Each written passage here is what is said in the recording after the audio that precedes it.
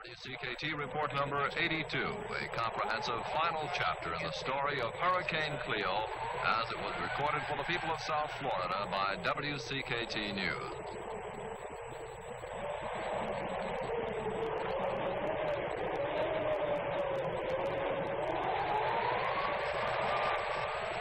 Your reporter, Wayne Ferris. Auto traffic. Fort Lauderdale's new tunnel avoided a similar tie-up in that city. It had revived an often discussed plan in Miami to replace bridges with tunnels. The late warning also caused a stampede to local lumber yards. There has been some talk about complacency on the part of Miamians in preparing for Hurricane Cleo. However, the boarding up procedure can be expensive. Storm-wise Floridians have learned to depend on official advisories before swinging into action.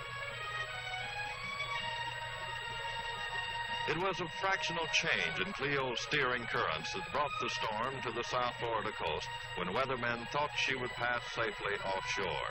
By the time the storm watchers decided that the changes they observed were more than temporary deviations, there was not much time left. As late afternoon approached and Cleo's fringe winds began lashing the palm trees, local food stores were still jammed with customers loading up on canned goods, candles, and sterno for the expected power failures.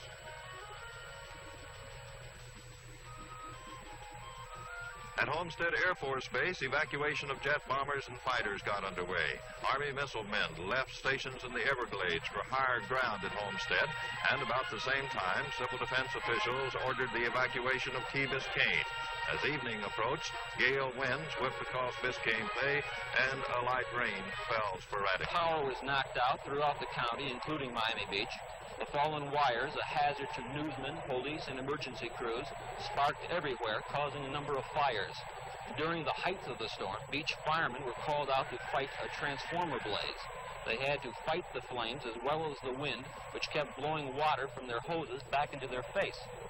Hurricane Cleo, a small but compact storm, did not cause the widespread destruction brought by other storms in Florida's history. In particular, there were no tidal waves that usually accompany a severe hurricane and threaten oceanfront areas.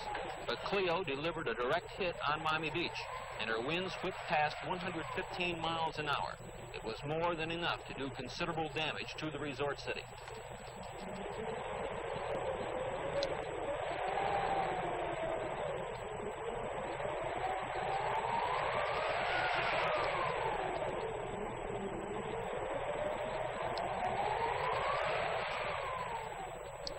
A few things bent with Cleo, Cleo's fury, others just gave up.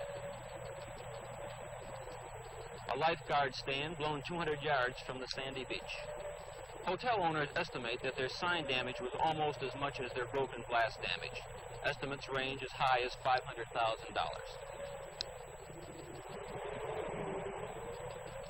As for most of the damage to cars and homes, anything that wasn't firmly tied down was an easy victim of Cleo's deadly gusts.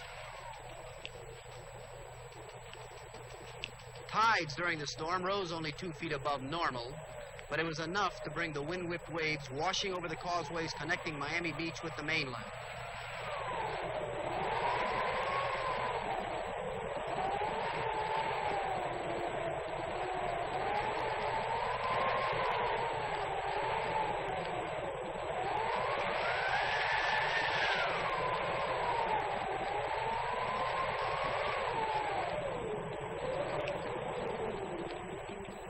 On Miami Cleo dealt a heavy blow to business property, blowing out many storefronts and destroying countless thousands of dollars worth of merchandise.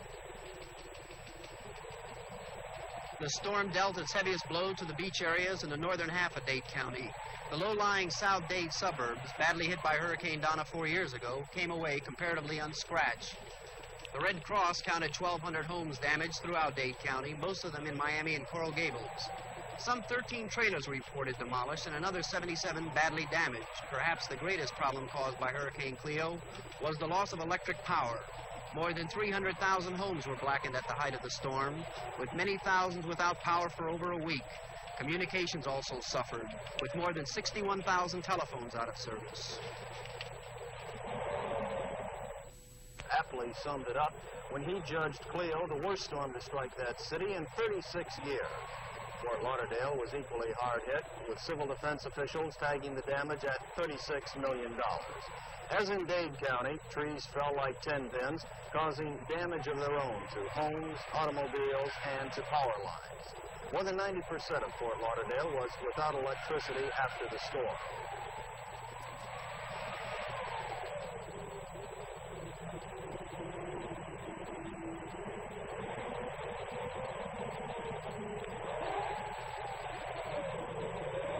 In the resort city of Hollywood, oceanfront hotels were badly mauled by the storm, which ripped steel shutters from windows and storefronts.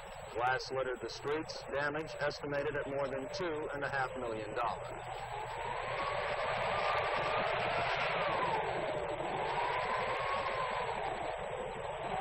Wind-driven surf washed into the streets all along the small resorts that dot Highway A1A. The combination of wind and water left the streets along the ocean covered with sand. Cleo slapped only lightly at South Dade, but gave her full and devastating attention to all of Broward County. Obviously, much boarding up was done in haste or not at all. WCKT prior to the storm. The arrow points to a 250-foot radio tower. It's no longer standing. Cleo took her toll. The tower crashed to within less than a foot of WCKT's main studio. It belonged to WIOD, an NBC radio affiliate. The twisted mass of steel crushed several automobiles, including that of a WCKT switchboard operator who had been consoling viewers. The tower had to be cut up before nearly a score of automobiles trapped by the steel barricade could leave the island. Shortly before the eye of the storm reached WCKT, power sources at the studio failed. But hurricane and the residents there who had heard reports. Our company spokesman was asked what went. He said, strong, small, but strong-willed Niagaras. When I talked tonight with our Palm Beach, the Dade County, had at least a few more hours to get ready. They used the time as best they could, and then they waited. The top winds recorded at West Palm were about 104 miles an hour, not quite as bad as the top gusts here. But as one Palm Beach resident said, if it gets over 100, totals don't matter too much. The rain came with sledgehammer force, popping out windows, sparking transformer fires, and bringing down power lines. The difference between the scenes in West Palm and the scenes in Dade are geographical. There, as here, debris was everywhere as the wind and rain tore down signs, crossing gates, and bridge wires. The water pounded from rooftops, creating correspondent. I asked what took the sharpest beating. He said it would be unfair to be specific. Houses, cars, house trailers, and boats. You name it, and you've got it. None killed or seriously injured. This smashed hulk is what remains of the opulent Roman Forum, a houseboat modeled after Cleopatra's regal barge. Cleo reduced it to a $200,000 junk pile in Indian Creek. Another boat, the famed Surfside 6, was also damaged. Miami Beach homes, particularly the older ones along Pine Tree Drive, took a beating. But the heaviest damage was inflicted on hotels.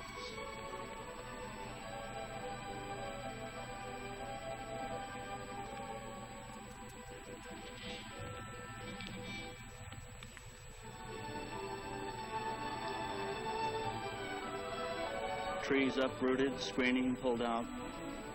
Aircraft at Opa-locka and Miami International airports also took a battering.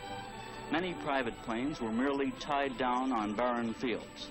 This was the result. Planes at Miami International were blown across the field. At Opa-locka, high winds ripped one DC-3 from its berth and blew it a mile from the airport. The storm spawned some dozen fires throughout Dade County as winds ripped down power lines. A tomato packing plant in Florida City was a total loss.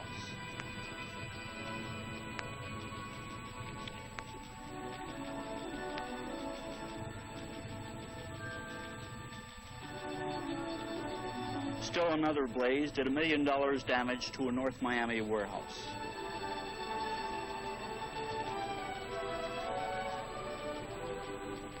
Cleo may not have been a major disaster, but you couldn't tell it from these scenes along Collins Avenue.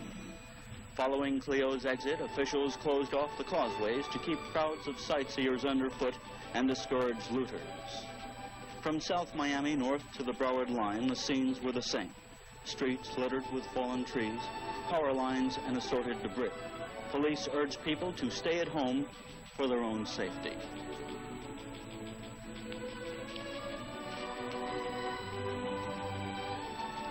Communications media did not escape Cleo's wrath. Radio station WINZ, with studios atop the Biscayne Terrace Hotel in downtown Miami, was completely blown apart by the tough little storm. Announcers and engineers, busily broadcasting hurricane information when the wind, windows blew in, had to run for their lives.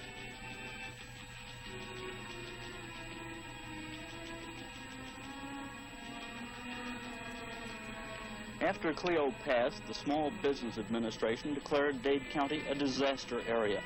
But after some local officials and Chamber of Commerce officials had a chance to assess the damage, the disaster tag was challenged. Only one dwelling was destroyed, and it was due to faulty construction. Still, President Johnson personally phoned Miami Mayor Robert King High, offering the federal government's assistance if it was needed. A week after Cleo passed through greater Miami, there were still small areas without electricity. Vast quantities of refrigerated food spoiled, and meat inspectors were kept busy, literally sniffing out contaminated supplies. The telephone company reported over a million dollars in emergency repairs. In Broward County, the story was much the same, as shown by these scenes as Birch State Park. Benches became toys for the wind. Streets bordering the beaches were clogged with sand and debris. Bulldozers worked overtime to clear them.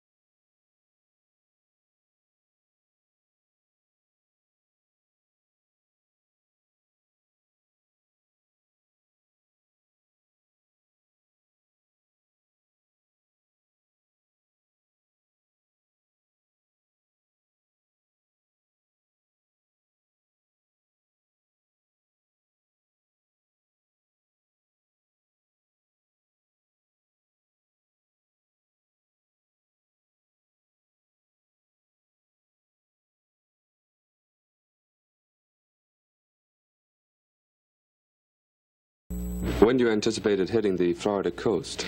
We're expecting that it, the center of Hurricane uh, Dora will reach the uh, Florida coast some 200 miles north of Miami on Wednesday forenoon. Well, now, if uh, Dora hits here, and uh, it being a very big storm, what are the effects that people are going to feel in Miami? In the greater Miami area, the effects, the effects will be comparatively minor. I would expect that the winds would shift uh, from north, northwest around the west. Uh, rather fresh, uh, but probably no more than uh, 30 to 40 miles an hour in a few squalls. Do you recommend any precautions to be taken by Dade Countyans? No, we don't believe that any particular mm -hmm. precautions are necessary. What are the forces controlling Dora's direction and speed?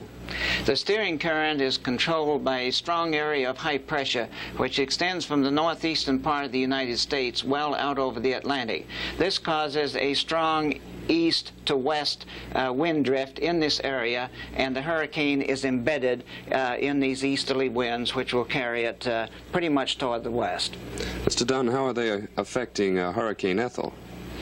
Well, I think that Hurricane Ethel is probably affecting Hurricane Dora to some extent. It is preventing the normal inflow of warm, moist air into the middle of Hurricane Dora. For that reason, it is not as concentrated a storm as Cleo was. That is, the winds are spread out over a wide area, and uh, aircraft reconnaissance report that it is a comparatively dry hurricane. Would you say then that Ethel's on our side? Yes, I think she's helping us out a little bit. Good. Thank you.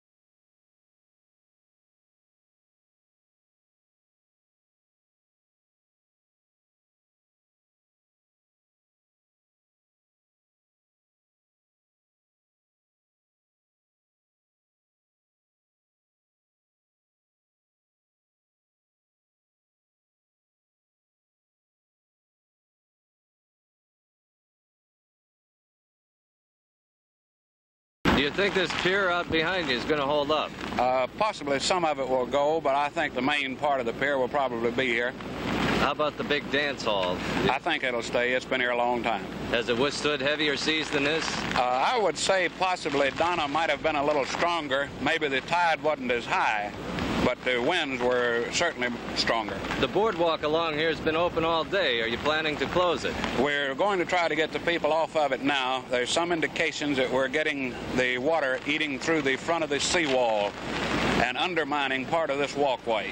We don't want to run the chance of anyone being out here. Have you had any trouble with sightseers today? Uh, only as far as traffic goes and people standing around. Way too much of it. Have you found anybody on the beach you thought was in danger? Uh, just a few minutes ago, uh, Mr. Miller, the boy that's working with me, and I took a boy home. It was possibly 10 years old, looked to weigh about 50 pounds, was standing on one of the beach approaches watching the waves, and it was all we could do to stand up. How long do you figure you'll be out here patrolling? Uh, we'll be out until it's over.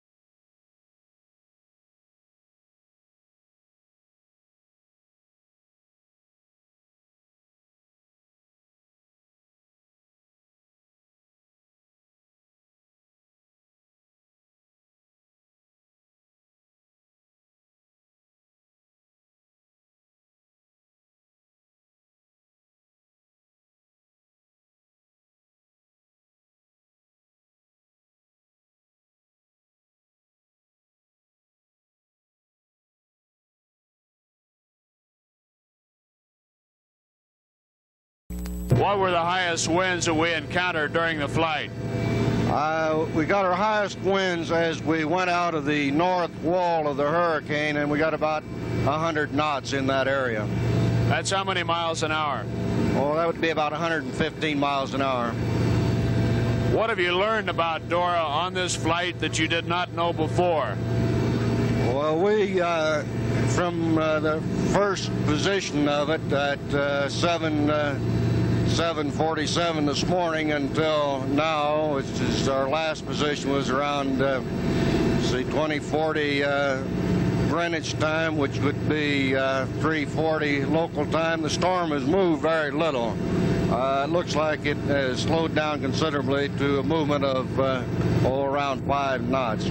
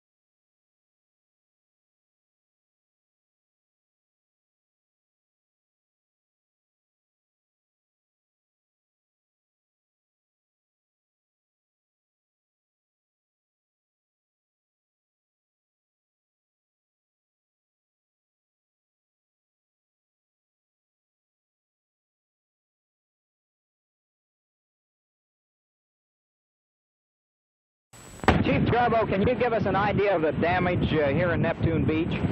I'd say it run close to a million dollar damage here. We got it right on Neptune Beach. Can you uh, describe some of the specific places around that have suffered the most damage? We got the drugstore right on the corner. It's demolished all inside. It's just torn all to pieces. Neptune Tavern across the street, the roof's off of it. It's all gone. Another place down there, the restaurant, all the roof's gone off of that. They're trying to move things out. Seahorse Motel, the front end of it's going out. And the road and the beach is eroding back under the wall. The wall's still standing in some places. Did you have a lot of uh, difficulty last night during the uh, the heaviest part of the storm? Our worst trouble was having flat tires, running over these boards with nails in and floating them in the water in the dark. We couldn't see them. How many flats did you have? Well, we've had five in the last hour and a half. I notice your car's uh, still jacked up down there with no tires on the front end, I believe. No, my car's taking that car's tires down to get it fixed. I don't know how many flat tires I'll have when they get back. Was uh, most of the damage right along the ocean front, or was it uh, uh, was it uh, inland here a little bit? It was a block or two inland. We got trees down all out in the big residential section. We got trees down, roads blocked. How long have you been in this area yourself? 32 years. And this is the worst storm you've ever seen? This is the worst one I ever rode out. Uh, what about other uh, local residents? They feel about the same way? Yeah, they all think this is the worst one we've had. We know it is. It's done more damage to us.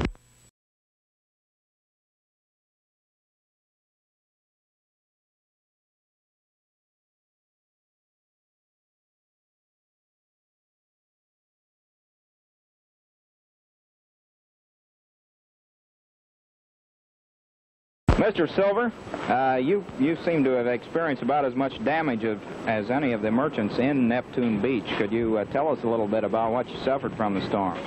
It's about a complete loss. We uh, all our windows blew out about four o'clock this morning, and uh, that was right during. I think they uh, the police told me the winds were running about 125 miles an hour at that time.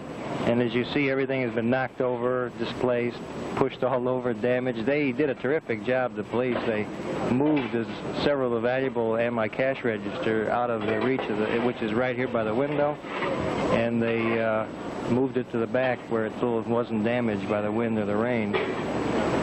Is this your first experience with uh, storm damage of, of this intensity? Yes, we've never had. We've had little damage during the last hurricane about three years ago, but the most that was is just the window blew out. One window blew out, and uh, we repaired that right during the eye, and there was no really damage occurred from that. We didn't have any loss at all, no internal loss.